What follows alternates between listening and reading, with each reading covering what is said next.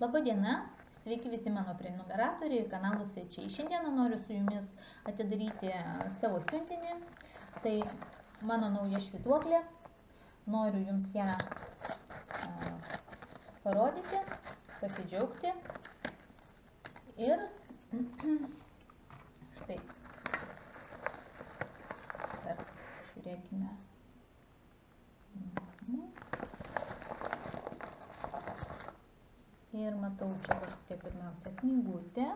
Aha, su čakromis, pagal čakras. Šiek tiek aprašyta viskas čia. A, tik anglų kalba knygutė.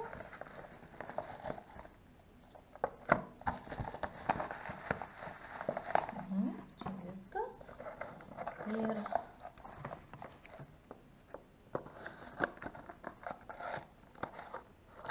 Mhm.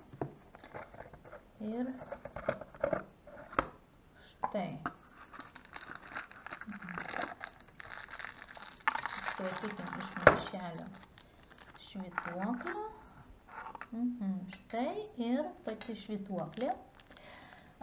Švituoklė, mm, švituoklė pakankamai sunki, pakankamai didelė, matote, e, per kelis mano pirštus, padengta variu,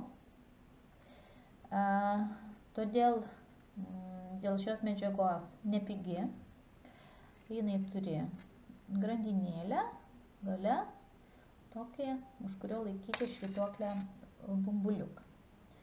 Taigi,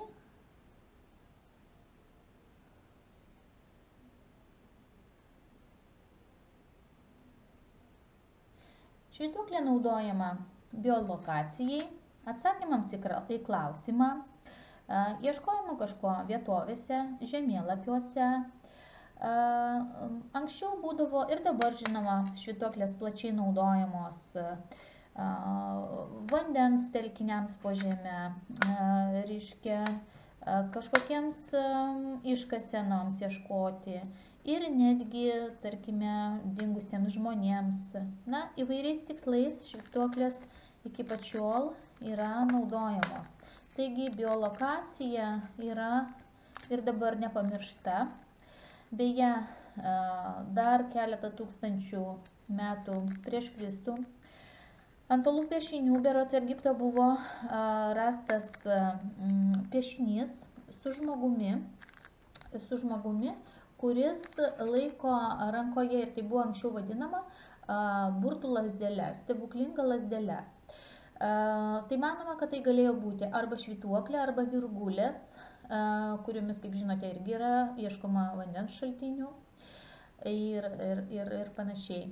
Mm, Taigi, tai jau galėjo panašus dalykai, instrumentai būti naudojami prieš kelis tūkstančius metų ir ta stebuklinga lasdelė, kuri yra minima pasakose, burtų lasdelė, tai galėjo būti, na, virgulė arba švituoklė, kurią jūs dabar matote a, savo vaizdo, a, vaizdo filmuke, kurį dabar žiūrite.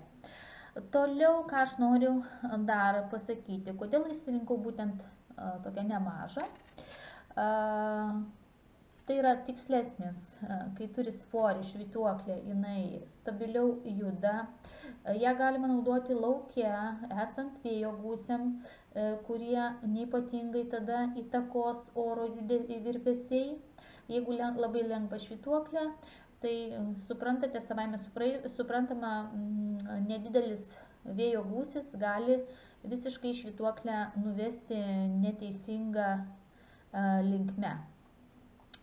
Toliau dar ką noriu parodyti, šioje švituoklėje yra paslaptis ir jinai suveiks ir prasidės jos magiška galia tada, kai aš ją įkrausiu, kai aš, o jinai dar pasidalina į atsisuka viršus, čia galima ir pakeisti grandinėlę, gal aš ateityje mm, pakeisiu į odinį dirželį.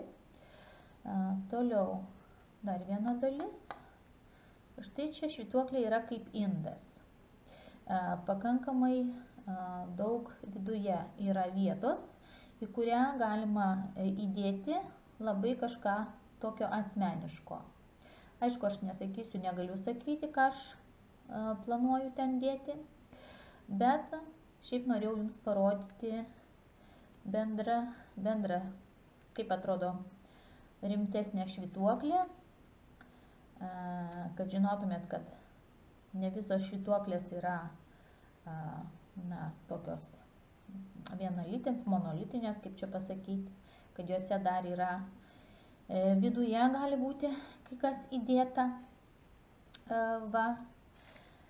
Na ir, ir, ir galima, aišku, naudoti, kaip aš, kaip papildomą instrumentą ateičiai numanyti, numanyti, numatyti ir atsakymams į klausimus. Ir be abejonės toks dar instrumentas nešiojantis kasdien na, rankinukė kišenėje, kai norima kažkokį tai sprendimą rasti, aišku, išsitraukus švituoklę galima lengvai rasti atsakymus, ištraukti juos iš savo pasąmonės ir, ir rasti teisingą sprendimą. Tai vienas iš magijos būdų, ateities spėjimų būdų, atsakymų radimo būdų. Taip pat Kas čia dar yra įdėta? Na, tai yra įdėtas maišiukas, kaip aš matau, švituokliai laikyti. Tačiau aš turiu, manau, ir šiek tiek mažesnį, patogesnį, galbūt čia sakyčiau didokas, nors aišku galima suviniojus, va kažkur tai labai gražiai tą švituoklę laikyti ir nešiotis. Ir naudoti savo mm, pranašavimui, atsakymams, kaip sakau, į klausimą, įvairiom situacijom spręsti tokį įrankį. Tai va, aš tikiuosi, jums video buvo įdomus. Gal ir jūs susidomėsite švituoklėmis ir pamėginsite patikrinti savo sugebėjimą dirbti su švituoklė. Tai visus apkabinu, linkiu gerų pasirinkimų savo gyvenime, teisingų sprendimų, su švietokle ar be jos. Ir su jumis buvo kanalas Taro Akis.